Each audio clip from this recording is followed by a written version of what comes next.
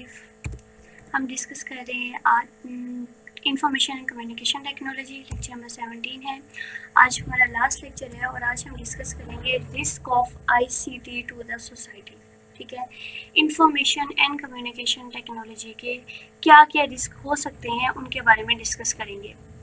Number one, in the modern age, we expected to rely upon information and communication technology. ठीक है? हमारा जो ज़्यादातर इन्हसार है वो किस चीज़ पे है? आईसीटी पर है। But blind faith in technology लेकिन जो हम अंधा एतबार करते हैं टेक्नोलॉजी पर इस डेंजरस इन मैनी केसेस वो बहुत सारे केसेस में क्या है? हमारे लिए ख़तरनाक साबित हो सकता है ठीक है? इंफॉर्मेशन जो कंप्यूटर हमारे पास है टेक्नोलॉजी है, वो हमारे लिए ज़रूरी है, ठीक है? लेकिन हम उसके ऊपर इतना भी एतबार ना करें कि उससे क्या हो हमें नुकसान हो सके। वो कौन कौन से हैं? Some important risk are as follows number one है over use of computer over use of computer is dangerous for health ठीक है? अगर हम कंप्यूटर का ज़्यादा इस्तेमाल करते हैं तो वो हमारी हेल्थ के लिए क्या है? ख़तरनाक है। जैसा कि हम जब ज़्यादा यूज़ करेंगे, जो रेडिएशन स्क्रीन है कंप्यूटर की, उसमें से क्या होती है? रेडिएशन इमिट हो रही होती हैं। वो रेडिएशन हमारी आइज़ के लिए क्या है? बहुत ज़्यादा इफ़ेक्टिव साबित होती हैं। उससे हमारी नज़र कमज़ोर हो जाती है। और दूसरा ये कि सारा दिन बैठ के कंप्यूटर का यूज़ करना, सारा दिन बैठने से हमारी किडनी जो है, ठीक है उस पर इफ़ेक्ट हो सकता है। और उसके साथ साथ अगर जो कंप्यूटर का ज़्यादा यूज़ कर रहे हैं, ठीक है, उससे इंसान क्या होता है, नफसियाती बीमार हो जाता है। तो जो कंप्यूटर का ओवर यूज़ है, वो हमारी हेल्थ के लिए बहुत ज़्यादा डेंजरस है। कंप्यूटर क्राइम्स ठीक है, दूसरा क्या है रिस्क क्या है कंप्यूटर क्राइम्स अब कंप्यूटर क्राइम्स क्या है? क्राइम अकम्पलिश थ्रू नॉलेज और यूज़ ऑफ़ कंप्यूटर टेक्नोलॉजी वो क्राइम्स जो हम कंप्यूटर टेक्नोलॉजी के ज़रिए करें। ठीक है? उन क्राइम्स को हम किसका नाम देंगे? कंप्यूटर क्राइम्स का नाम दिया जाता है। कंप्यूटर के ज़रिए भी क्राइम्स किए जाते हैं और वो कौन कौन से क्राइम्स हैं, उनको हम डिस्कस करते हैं। Examples of computer crimes are very common in our society number one है थेफ्ट अब थेफ्ट का मतलब क्या है? Theft is the most common form of crime crime की ज़्यादा कॉमन फॉर्म है, ठीक है? जैसे कि computers are use to steal money चोरी करने के लिए, क्या चीज़ चोरी करने के लिए, चीज़ें वगैरह चोरी करने के लिए मनी चोरी करने के लिए इंफॉर्मेशन चोरी करने के लिए कंप्यूटर रिसोर्सेज को चोरी जो किया जाता है, उसको हम किसका नाम देते हैं? थेफ्ट का नाम देते हैं। हम करते क्या है?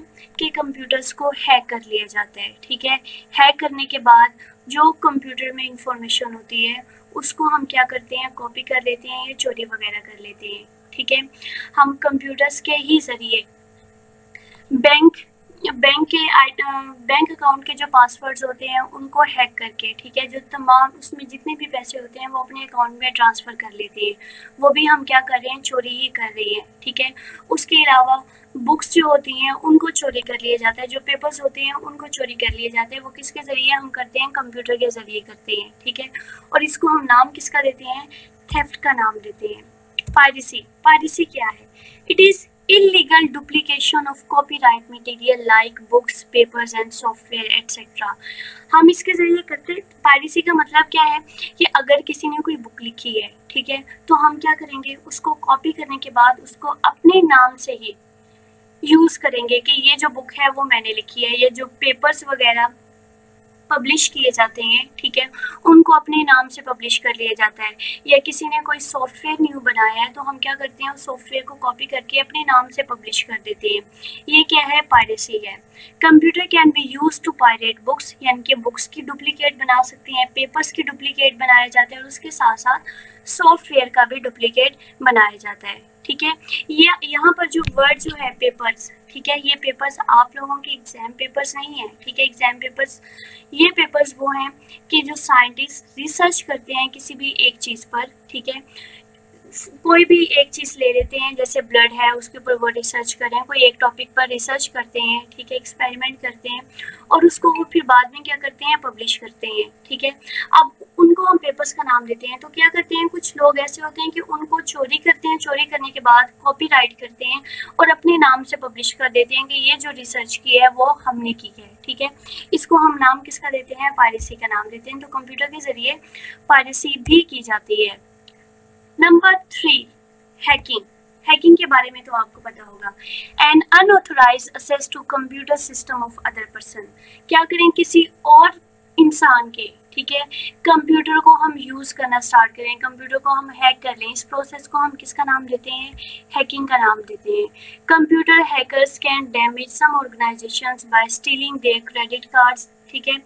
जो हैकर्स होते हैं, वो ऑर्गेनाइजेशंस को भी डैमेज कर लेते हैं, जैसे कि उनकी उनकी जो इन्फॉर्मेशन, सीक्रेट इन्फॉर्मेशन होती है उसको वो चोरी कर लें ठीक है? क्रेडिट कार्ड्स को चोरी कर लें। इस, इसी तरह से जैसे कि फेसबुक अकाउंट वगैरह होते हैं या ट्विटर अकाउंट्स वगैरह ईमेल जो है उनको क्या कर लिया जाता है? हैक कर लिया जाता है। तो उसमें जो भी इंफॉर्मेशन होती है ठीक है? वो इस इंसान के पास चली जाती है जिसने हैक की है ठीक है? आपके हालाँकि मोबाइल्स को भी हैक कर लिए जाते हैं ठीक है? इसी तरह से कोई भी वो क्या करते हैं मोबाइल में लिंक सेंड कर देते हैं कि आप इस लिंक को ओपन करें स्पिन करें और आपको इस तरह के कोई डाटा जो है वो मिलेगा या फिर आपको इतना बैलेंस मिलेगा, इसको आगे फॉरवर्ड भी करें। ठीक है, वो सारे क्या होते हैं लिंक्स जैसे ही आप उन्हें ओपन करते हैं, हो सकता है कि उस लिंक के ज़रिए आपका जो मोबाइल है या आपकी जो व्हाट्सएप है, ठीक है, उसको हैक कर लिया जाए। तो आपके मोबाइल में जितनी भी इंफॉर्मेशन होती है, वो इंफॉर्मेशन उस इंसान के पास चली जाती है।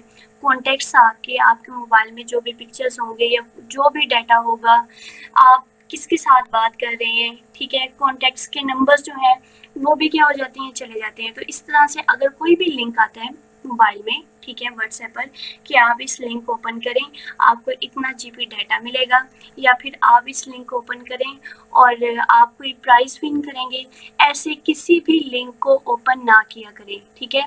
ऐसे लिंक से आपके जो मोबाइल है, वो हैक हो सकते हैं। मोबाइल के साथ साथ कंप्यूटर सिस्टम जो है, पूरी कंपनी का कंप्यूटर सिस्टम हैक किया जा सकता है, ठीक है? तो उसके अंदर जितनी फाइल्स होंगी, जितने रैकेट्स वगैरह होंगे, वो सारे के सारे हैक कर लिए जाते हैं। इसको हम नाम देते हैं हैकिंग का। Measures to reduce computer crimes अब ये जो कंप्यूटर क्राइम्स हैं, इन कंप्यूटर क्राइम्स को हम रिड्यूस किस तरह से कर सकते हैं? One way to reduce the risk of security breaches is to make sure that only authorized person have access to the computer equipment. ठीक है? पहला तो हम कंप्यूटर को कंप्यूटर के जो क्राइम्स हैं, उनको हम रिड्यूस कैसे कर सकते हैं कि आपका जो कंप्यूटर है, ठीक है? उसको क्या करें? सिर्फ़ वही इंसान, यानी कि आप ही उसको ओपन कर सकें, आप ही उसको यूज़ कर सकें, उसके अलावा उसका पासवर्ड वगैरह जो है, वो किसी को मालूम ना हो। We may granted access to computer based on some password as describe लो हम क्या कर सकते हैं? जो एसेस है, उसको पासवर्ड के ज़रिए स्ट्रॉन्ग कर सकते हैं। जैसे कि वी कैन यूज़र की हम किसी की का इस्तेमाल करें, वो की क्या हो सकती है? आईडी कार्ड विद फ़ोटो ठीक है? आईडी कार्ड हो सकता है आपका। आईडी कार्ड नंबर हो सकता है, ठीक है? आईडी कार्ड नंबर आप आप एज अ पासवर्ड यूज़ कर सकते हैं।